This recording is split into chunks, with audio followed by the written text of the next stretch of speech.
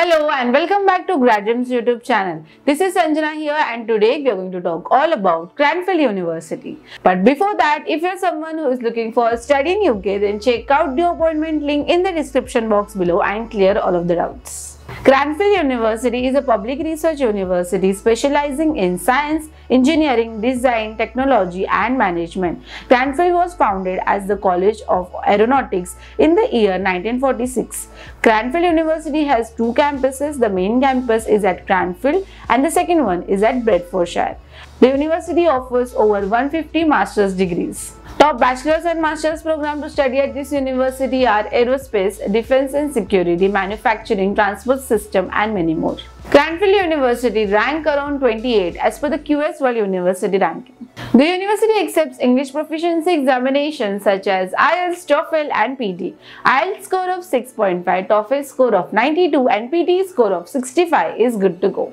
As mentioned earlier, this university is specifically offering only postgraduate courses. So these are the basic requirements for just master programs. The student need to score 60 percentages and above in their bachelor's degree, official transcripts and mark sheets of their bachelor's degree, SOP, LOR and resume.